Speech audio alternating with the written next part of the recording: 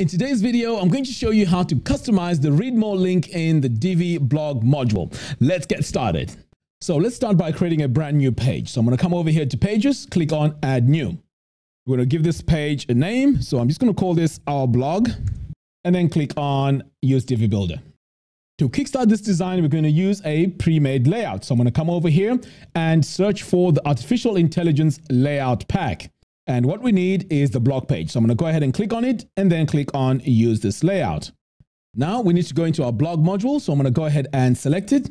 All right. So when we take a look at our blog post here, we notice that we don't have the read more link or button. So what we need to do is to come over here and search for elements. And then we need to make sure that our read more button here is activated. So I'm going to go ahead and select that.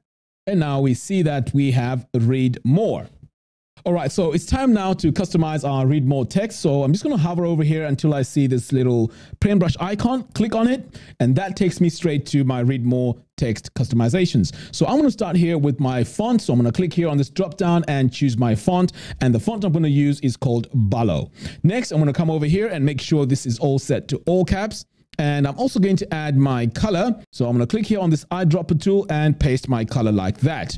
Next, I'm going to come over here to my read more text color, click on this eyedropper tool and paste my color in here.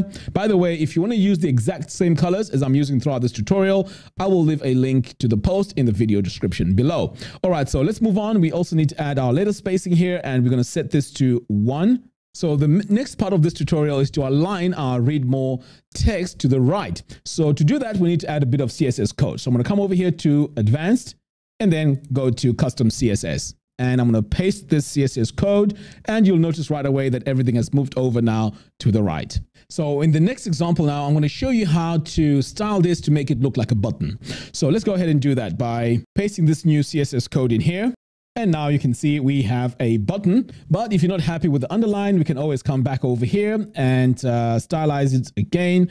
So here we are on our read more style. We have our underline selected. I can just click on that to, to remove that. So all we have now is just the text and the button. Okay, so moving on. In the third example, I also have another design which has even more advanced features. So this time, let's come over here to custom CSS, scroll all the way down over here, add a bit of code again as we did before, and now it has some hover effects. But we're not done yet because in this example now, I'm going to show you how to turn our read more text into something else. Now for this to work, we need some jQuery code. So let's first of all come over here to the top and add our class. So our CSS class here is going to be uh, this text here. So make sure that you have it correct. Now let's go ahead and add a code module. So I'm going to save this and then scroll down here, click on this plus button and search for my code module. So here it is. I'm going to select it. Here is the code. I'm going to again paste it in here. Now, if you want to use uh, this code, it's going to be in the blog post, which I'll link to in the video description below. So now let's add our tags. So that's the first one, and that is the second one. Now let's take a look at our final design. So first of all, let's save here, publish the page, and then we're going to exit the Visual Builder and see the final design.